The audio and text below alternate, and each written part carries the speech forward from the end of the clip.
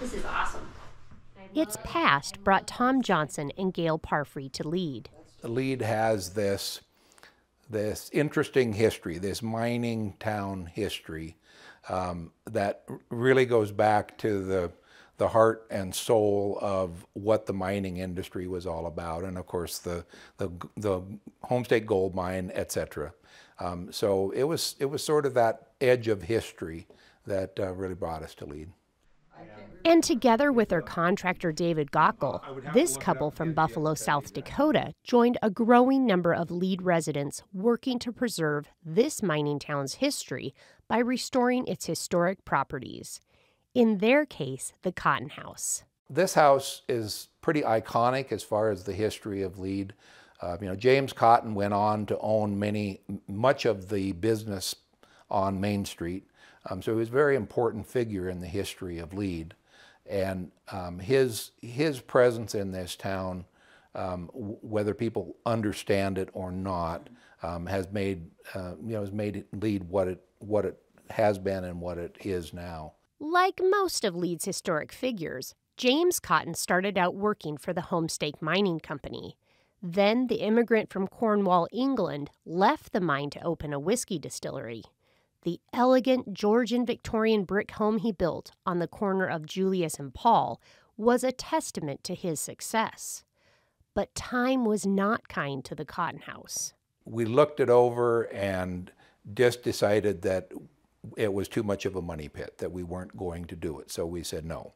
So, what does a money pit look like? A brick shell, missing floors, and bare stud walls. The 120 year old cotton house was in such a state of disrepair that the owner deeded it to the city of Lead, and Tom and Gail eventually bought the home at public auction for $30,000. Then they painstakingly restored the property to its original grandeur. Fortunately, the original doors and some ornately carved decorative woodwork did remain. For the rest of the home, they had to find craftsmen to create replicas of the historic moldings. They invested more than a $100,000 in custom windows alone. Today, the Cotton House is grand once again, and its neighbor, the Stewart House, has also been restored. Preserving Lead's historic properties is a positive trend. When I first started at Lead, there was I had 30 houses on my list that probably needed to go away. They were going to be condemned. Now I have none because people come in and buying these houses and they fix them up. The Homestake mine that built Lead is also the reason many of its historic properties have disappeared. One time was in the early 1900s where the subsidence of the mine, where the underground tunnels and the open stopes were caving in, and they had to move part of most, a lot of the town, and a lot of buildings disappeared then. And then in 1982, or right around in there, uh, when the open cut expanded, they, we lost a city park and we lost uh, quite a few buildings and residents then too from the expansion of the open cut.